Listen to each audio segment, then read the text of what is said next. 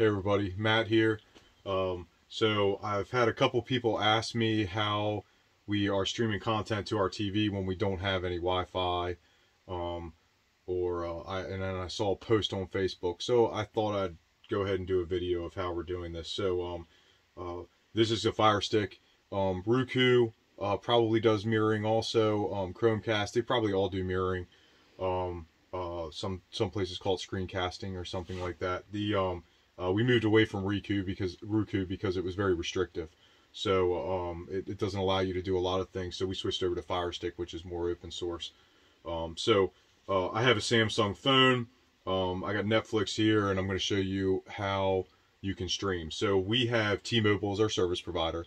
T-Mobile allows you to stream for free certain content. So Netflix, Hulu, YouTube and if other other uh, some other service providers are all free streaming, um, then you of course you have your data on top of that.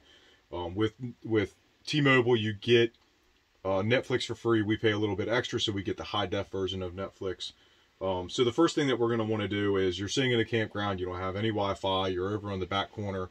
Um, you need to see what your data speed is. So just open up a browser and uh, you're going to go to fast.com, F-A-S-T.com um, and so we're going to start a data stream or a, data speed test. So um, you can see we're getting seven, eight, nine megabits.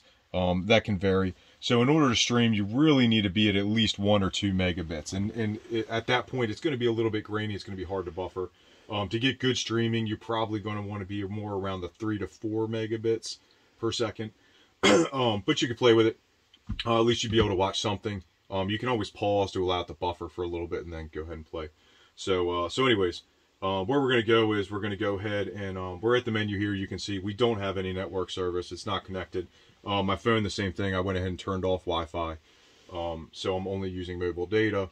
Um, so we're going to hold down the home button here and we're going to get a pop-up menu. And on this menu, you can see over here, it says mirroring. So we're going to go over and we're going to select mirroring. Then on my phone, again, you'll have to look up how to do this in your phone, but on my phone, it's called Smart View. So I'm going to click Smart View. Whoops. I'm going to click Smart View. And you'll see my Fire Stick pops up right there. So if I click on that, and I'm going to tell it to go ahead and start the mirroring process. And my phone pops up on the TV. So you can see that's just my phone. So I'm going to select Netflix. And we were watching Stranger Things earlier, so I'm going to go ahead and select Stranger Things. And uh, so now it's starting to buffer. Again, you know, it depends on what your network speed is, how long this particular takes. Um, you're also uh, uh, going to see some potential graininess when this comes up um, the buffer will will catch up to that. Why is it doing that? All right, let's try that again because it shouldn't. All right, sorry about that. I'm not really sure why it was doing that, but anyway, so you can see um, it's a little grainy. That'll clear itself up as it goes through. Again, it needs to build that buffer.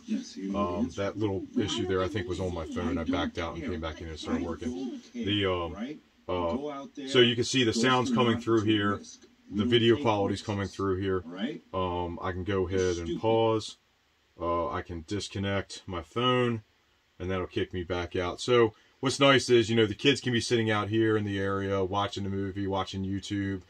We can be back in the bedroom at night watching a TV show as we go to bed, something like that. So, uh, but that's it. That's how you do that. So uh, everybody have a good one.